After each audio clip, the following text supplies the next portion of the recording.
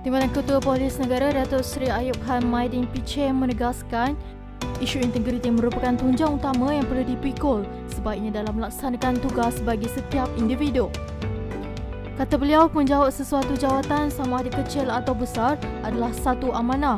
Sekiranya disalahguna atau mudah dibeli oleh pihak tertentu maka negara akan musnah kerana kecuaian tersebut.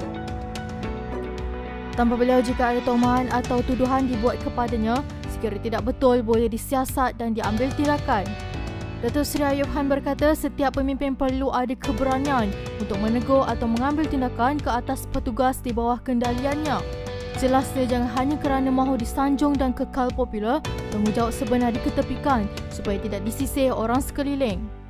Menurut beliau, semua jawatan dan pangkat akan hilang apabila seseorang itu telah tamat perkhidmatan atau bersara. Justru beliau menegaskan sekiranya mahu membuat perubahan kepada ke arah kebaikan, jangan ambil peduli dengan apa yang orang kata.